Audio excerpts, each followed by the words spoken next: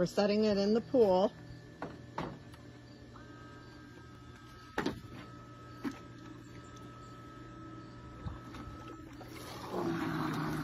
So our expectation is that it will pick up the small stuff on the bottom of the water.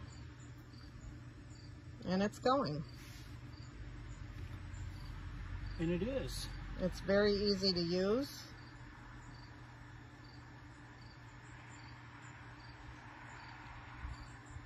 And then it's backing up at the stairway. Yep, as soon as it bumps into something, it backs up.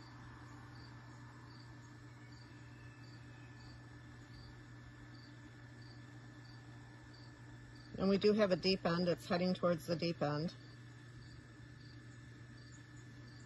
As you can see, it is picking some stuff up.